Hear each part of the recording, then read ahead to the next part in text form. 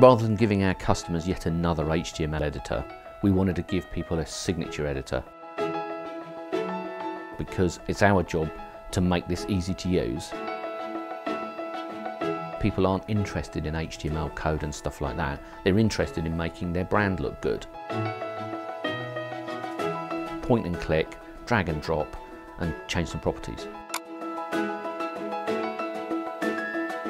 As the global leader in email signature management software, it's important that we give our customers the best editing experience and that's what we've done with our new editor. We know exactly what's needed to make your signatures look crisp and perfect on every email client in the world and we've encapsulated that knowledge into our editor so that you can take advantage of all that skill without having to understand all the technical details of it.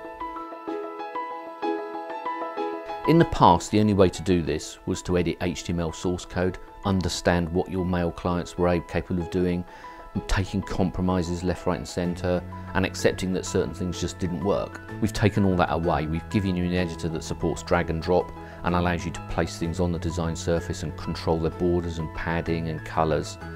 And we take care of all the techie details and you just make it look how you want it to look. So typically the IT department are looking to pass on the design aspect of signatures to the marketing department.